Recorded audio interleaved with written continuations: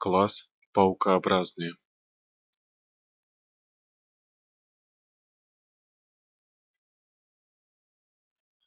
Паукообразные – это наземные хелицеровые с крупной головогрудью, несущие короткие клешневидные или когтевидные хелицеры, длинные педипальпы и четыре пары длинных ходильных ног. Брюшко лишено конечностей, дышат легкими или трахеями. Помимо коксальных желез, характерных для водных форм, у них имеются мальпигиевые сосуды. Известно около 63 тысяч видов паукообразных. Это преимущественно наземные формы, обитающие в почве и на растениях. Среди них имеются вторично-водные виды, а также паразиты животных и растений. Наиболее часто встречаются паукообразные скорпионы, сальпуги, пауки, сенокосцы и разнообразные клещи. Для многих паукообразных характерно выделение паутинных нитей из особых паутинных желез. Паутина играет существенную роль в жизни паукообразных добыче пищи, защите от врагов, расселение молоди и тому подобное. Паукообразные, чрезвычайно разнообразные по форме и размерам тела, сегментации и строению конечностей. От привычноводных или церовых они отличаются приспособлениями к жизни на суше. У них более тонкие хитиновые покровы, это облегчает вес их тела, что немаловажно для сухопутных животных. Кроме того, в составе хитиновой кутикулы у них появился особый наружный слой – эпикутикула, защищающий тело от высыхания. У паукообразных исчезли жаберные ножки на брюшке, а взамен появились органы воздушного дыхания, легкие, или трахеи. Рудименты брюшных ног у них выполняют половую, дыхательную функции или превратились в паутинные бородавки. Ходильные ноги паукообразных более длинные, чем у водных эликцеровых и приспособлены к передвижению на суше.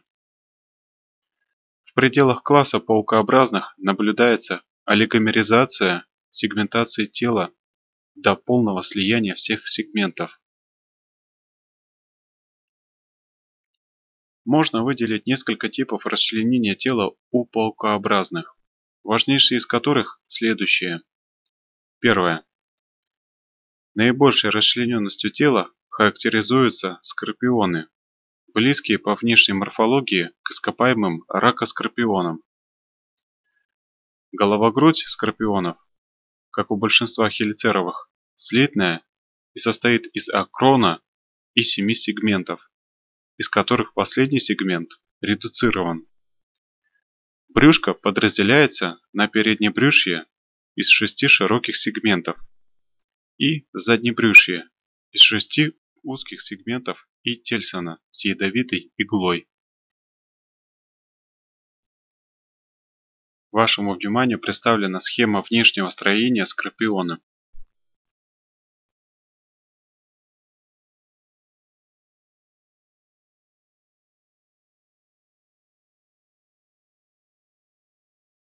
Второе. У сальпуг более примитивное расчленение головогруди, чем у других паукообразных. Акрон, то есть передний сегмент головы, и первые четыре сегмента слитные, а последние три сегмента свободные, из которых самый последний сегмент рудиментарный. Подобное расчленение наблюдается и у некоторых клещей. Вашему вниманию представлено расчленение тела у сальпуги.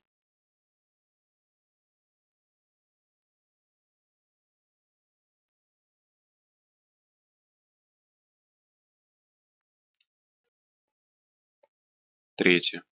Синокосцы имеют слитную головогрудь, а брюшко из девяти сегментов и Тельсона, который слит с последним брюшным сегментом.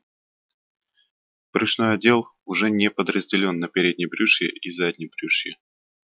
Подобное расчленение характерно и для клещей синокосцев. Вашему вниманию представлено изображение расчленения тела у синокосиц.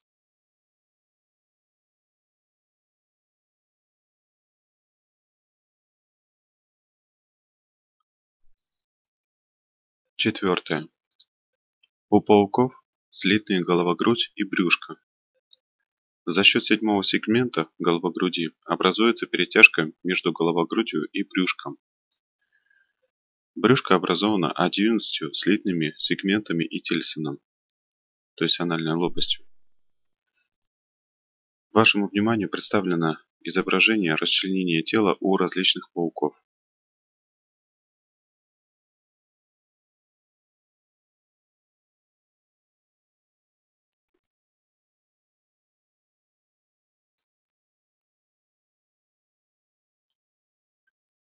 Пятое.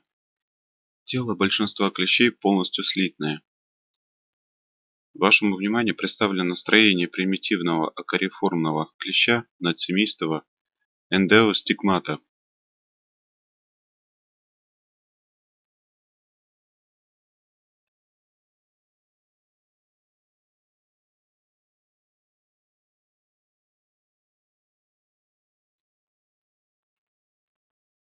Конечности паукообразных разнообразны по форме и функциям. Хелицеры функционально подобны мандибулам раков. Эти органы служат для размельчения пищи или прокусывания жертвы. Они могут быть клешневидными, как у скорпионов, сальпук, или когтевидными, как у пауков, или стилетовидными, как у многих клещей. Пятипальпы могут служить для захватывания или удерживания добычи. Хватательные пятипальпы с клешней на конце характерны для скорпионов и лжескорпионов. Пятипальпы сальпук жгутовидные и выполняют чувствующую функцию. У пауков педипальпы подобны ротовым щупальцам насекомых.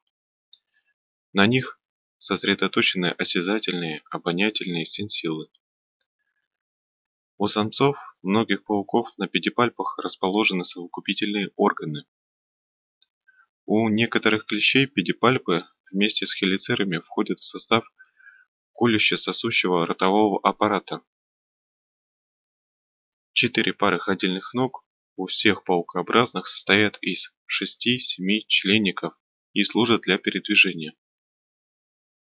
У сальпук, телефонов первая пара ходильных ног выполняет функцию чувствующих органов.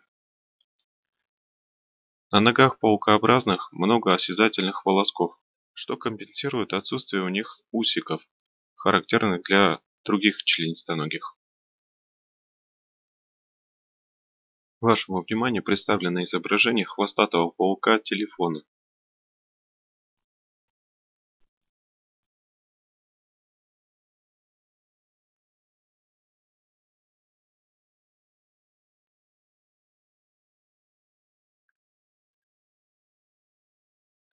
На переднем отделе некоторых паукообразных имеются рудименты конечностей, которые выполняют различные функции. Так, у скорпионов на переднем сегменте брюшка расположены парные половые крышечки, прикрывающие половые отверстия. На втором – особые чувствующие гребневидные органы. И на третьем-шестом сегментах – легкие, то есть видоизмененные жаберные ножки. У пауков на нижней стороне брюшка имеются одна-две пары легких и две-три пары придатков, то есть паутинных бородавок, которые представляют собой видоизмененные рудименты конечностей. У некоторых низших клещей на брюшке имеются три пары коксальных органов, которые представляют собой придатки кокс, то есть тазиков, редуцированных ножек.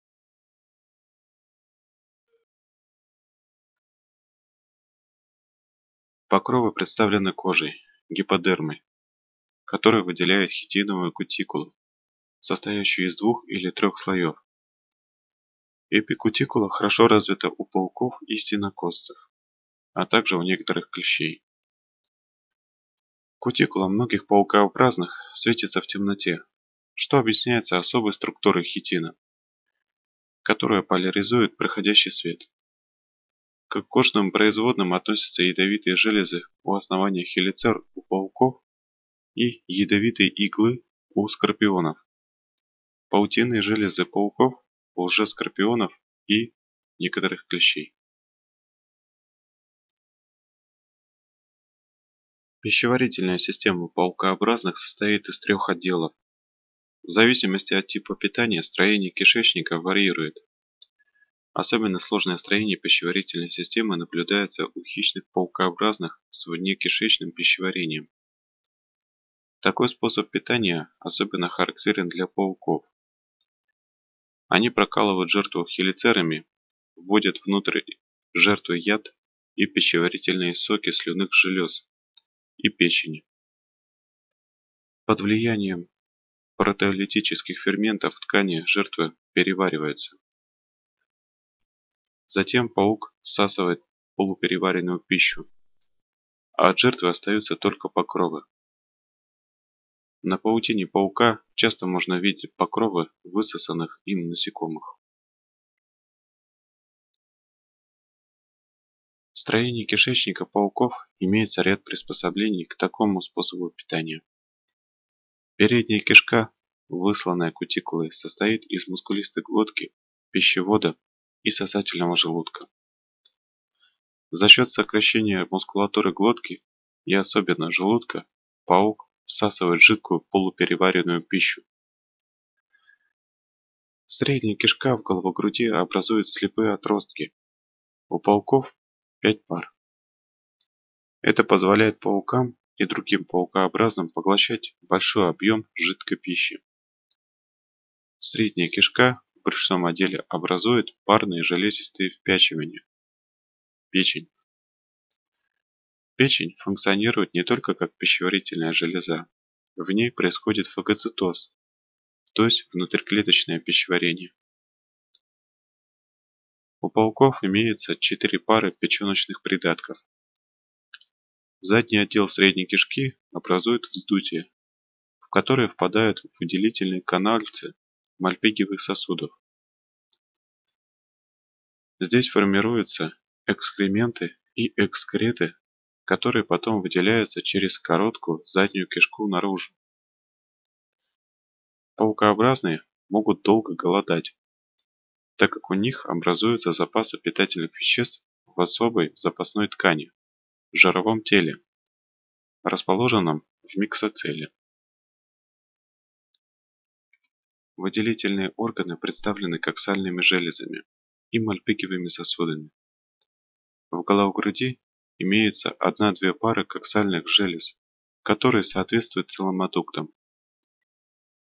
Железы состоят из мезодермального железистого мешочка, от которого отходит извитой канал, переходящий в прямой выводной канал.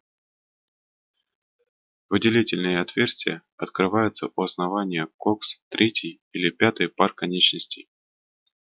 Кокса или тазик – это базальный членик ног членистоногих. Положение выделительных желез около кокс ходильных ног послужило основанием для их названия – коксальные. В эмбриогенезе коксальные железы закладываются у всех паукообразных, но у взрослых животных они часто недоразвиты. Мальпигиевые сосуды – это особые органы выделения, свойственные сухопутным членистоногим. У паукообразных они эндодермального происхождения и открываются в задний отдел средней кишки. Мальпигиевые сосуды выделяют экскреты, то есть зерна гуанина. В кишечнике из экскретов оттягивается влага, что экономит потерю воды в организме. Кровеносная система паукообразных не замкнутая. Сердце на спиной стороне брюшного отдела. У паукообразных с выраженным расчленением тела сердце длинное, трубчатое, с большим числом устей. Например, у скорпионов 7 пар остей, а у других паукообразных сердце укорачивается и число остей уменьшается. Так у пауков сердце с тремя-четырьмя парами остей, а у клещей с одной парой. У некоторых мелких клещей сердце редуцировано. Вашему вниманию представлена схема внутреннего строения паукообразных на примере паука.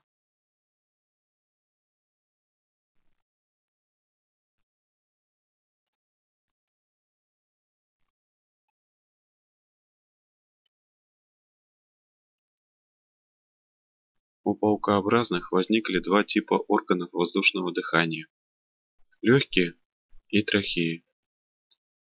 Существует гипотеза о том, что легкие паукообразные образовались из брюшных жаберных ножек рака скорпионов. Об этом свидетельствует их пластинчатое строение.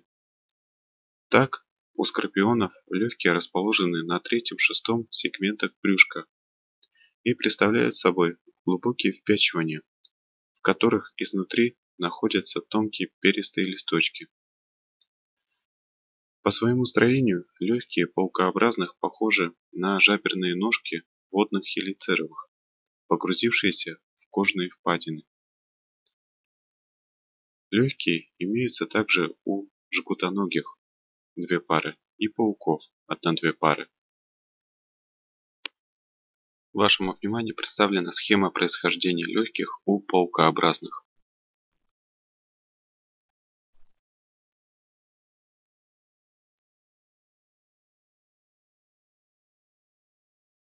Трахеи – это также органы воздушного дыхания у сухопутных хелицеровых. Они представляют собой кожные впячивания в форме тонких трубочек. Вероятно, трахеи возникали независимо в разных филогенетических линиях паукообразных. Об этом свидетельствует разное расположение стигм, то есть дыхательных отверстий, у разных паукообразных. У большинства на первом-втором сегментах брюшка, у сальпук на втором-третьем сегментах брюшка и на головогруди и непарная стигма на четвертом сегменте брюшка. У двулегочных пауков на последних сегментах брюшка, а у некоторых у основания хелицер или ходильных ног или на месте редуцированных легких. Наиболее мощно развита трахейная система у сальпук, в которой различают продольные стволы и разветвления, проходящие в разные участки тела. Вашему вниманию представлено изображение трахейной системы сальпуки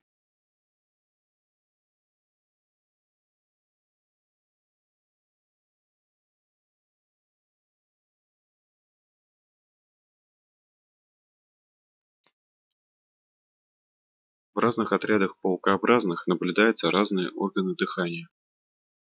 Только легочное дыхание характерно для скорпионов, жгутоногих и четырехлегочных пауков.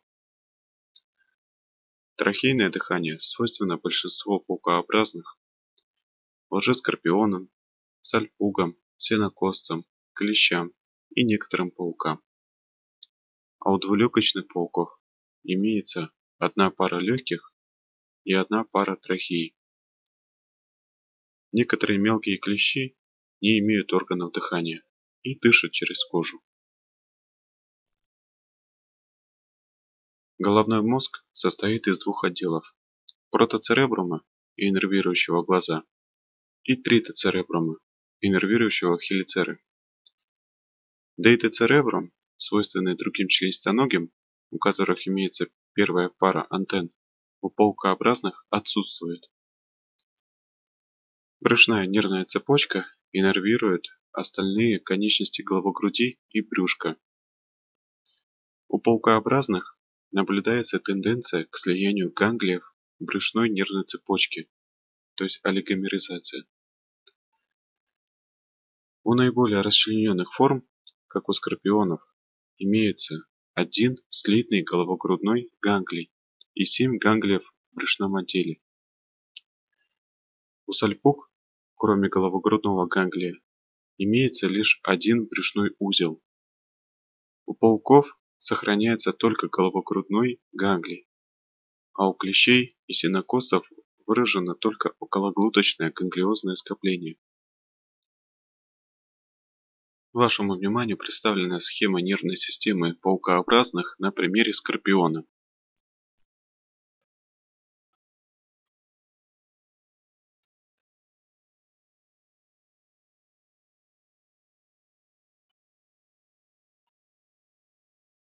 Органы зрения развиты слабо и представлены одной, тремя, четырьмя, шестью парами простых глазков на головогруди.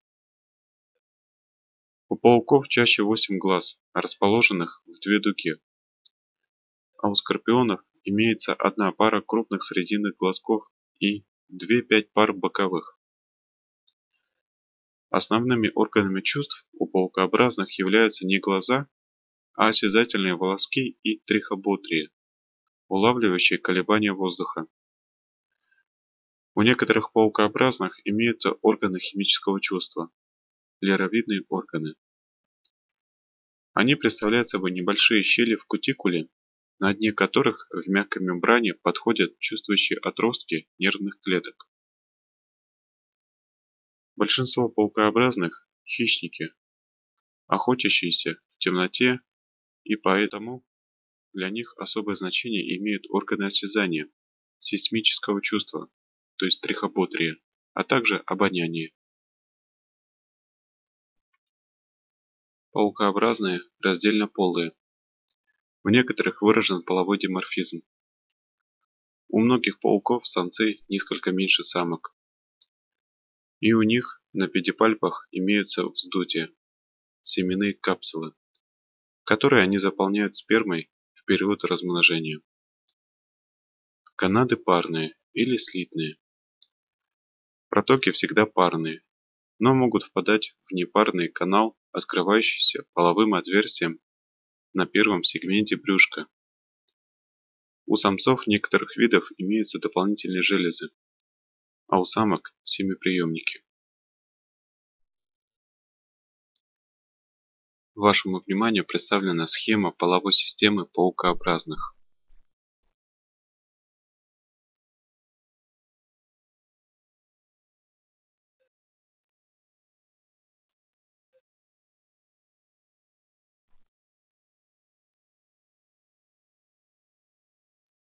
Оплодотворение у паукообразных может быть наружно-внутренним или внутренним.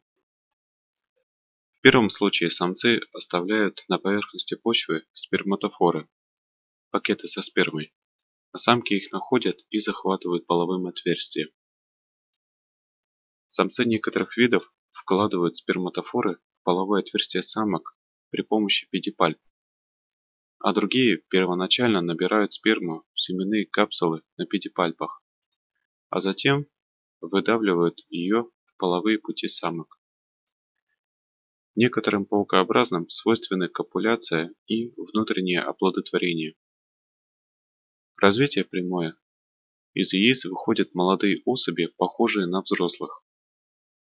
У некоторых видов яйца развиваются в половых путях, и у них наблюдается живорождение например, у скорпионов, лжескорпионов, некоторых клещей. У клещей нередко наблюдается метаморфоз, и их личинки, нимфы, имеют три пары ходильных ног, а не четыре, как у взрослых. Вашему вниманию представлено изображение педипальпы самца паука с копулятивным придатком